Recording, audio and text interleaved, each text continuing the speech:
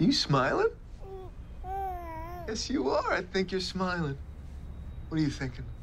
I know you don't have any language skills, but that doesn't matter. You're gonna have to talk to me sooner or later, so enough of this silent treatment, okay? Can you say daddy? Huh? How about mama? Can you say Grimm? He's a little young for that last one. How's he doing? Pretty good. Well, he must be getting hungry because I am getting hungry. That's your phone. You want me to answer it? Yeah, he's holding me down right now. Aren't you holding me down? Nick Burkhardt's phone. Adalind. Ju. Uh. Eve?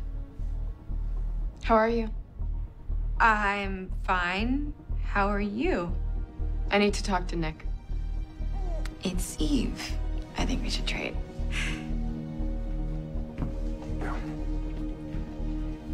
Go, bud. Yeah. I have more information for you. Can you come here now? Can it wait? No. All right, I'm coming over. Well, that was creepy. Is that how she is now? Yeah, she talks just about as much as Kelly. Look, I have to. I heard. Guess we'll sleep well tonight.